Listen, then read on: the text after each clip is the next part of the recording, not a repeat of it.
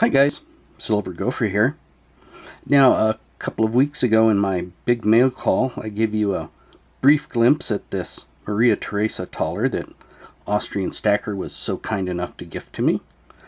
But I wanted to take a little more time today to give you guys a closer look and also talk about how it was used uh, during World War II. Now, if you want uh, some more information on the Thaler, make sure you head over to Austrian Stacker's channel.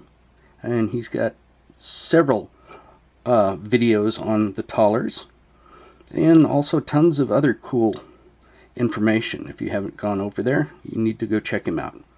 And the link should be in the description and hopefully if it worked in the pop-outs as well. Okay, now this came in this really cool uh, gift card. Here on the front you have a portrait of Maria Theresa and you can see the obverse of the coin peeking out. Here on the back are the specifications. Inside, we got a picture of the mint. And there you have more information on the Thaler. And you can pause and take a look at that. Now let me zoom in, we'll take a closer look at her. Now, the Thaler is 42 millimeters, slightly bigger than a uh, US silver dollar. It's 28 grams and it's 0.833 silver. Now, here on the front, you have the portrait of Maria Theresa. Surrounding it, it says, Maria Theresa, by the grace of God, Roman Empress, Queen of Hungary and Bohemia. On the reverse, you have the Austrian coat of arms.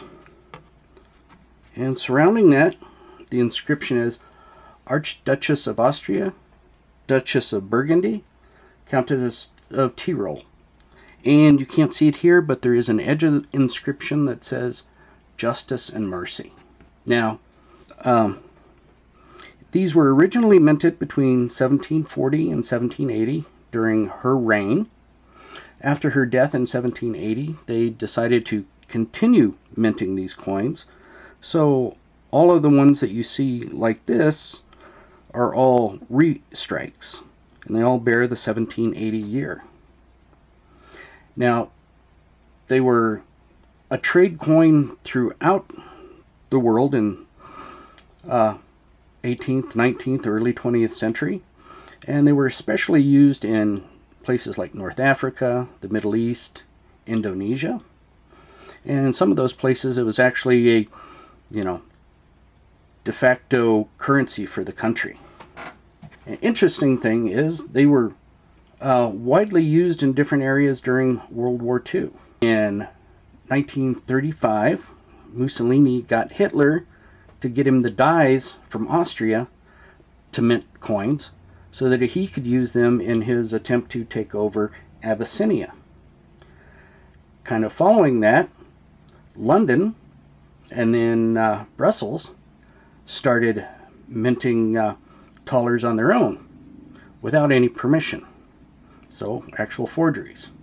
Now, although technically these would be forgeries, they were all of high quality silver and were used for all sorts of regular trade uh, by the troops and authorities in these countries um, during the war. Now, uh, it was something like 85 million of these forgeries were minted between like 1935 and 1961 when they actually stopped minting them. Um, London struck about 15 million uh, during the siege of England during the war. Uh, the, the dies were sent to Bombay and they struck about 18 million. Uh, Paris struck like four and a half million. Uh, Brussels struck about 10 million. And I couldn't verify it, but there are rumors that the US's OSS, the precursor to the CIA, actually minted some for use in Indonesia. Now, another interesting thing is that uh, there were actually some pretty big errors in both the dies that London was using as well as the ones that Brussels were using. Now the ones that were made in Brussels. Apparently they had uh, only eight pearls on this little brooch right here. And there are actually supposed to be nine. And that actually was really noticeable when they tried to use them in Yemen and a lot of them were actually refused. And if you look at the ones that were made in London um, they actually left out one of the feathers they left out this central tail feather on their dies. Uh, they eventually recut them and fixed that, but there was a error in the edge inscription.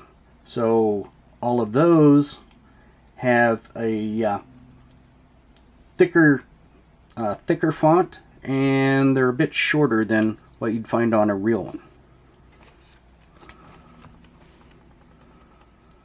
So, it's just a couple of little interesting facts I ran across while researching these. Thought you might be interested. And if you want more information, please go over and check out Austrian Stacker's site. Thanks for watching, guys. Thanks again, Austrian Stacker, for this great gift.